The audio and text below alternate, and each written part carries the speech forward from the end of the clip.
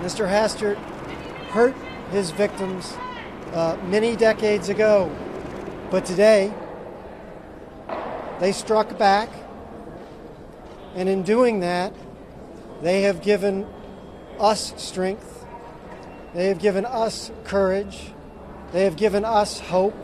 We brought the charges we could bring, and through that, Mr. Hastert's legend and legacy are gone, and in its place are a broken, humiliated man. That is as it should be.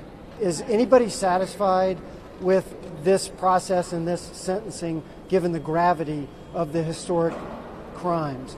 Of course not, Phil. Of course not. I, I wish Mr. Hastert had been called on the carpet in 1968, and we'd all be better for it. Um, this is imperfect, um, but it's what we got.